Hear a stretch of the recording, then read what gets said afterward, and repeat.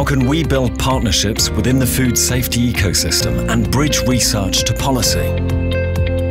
This is one of the issues we will address at One, where scientists from many fields will take an holistic approach that can offer governments and policymakers effective solutions to global challenges. Because human health, animal health, and environmental health are one.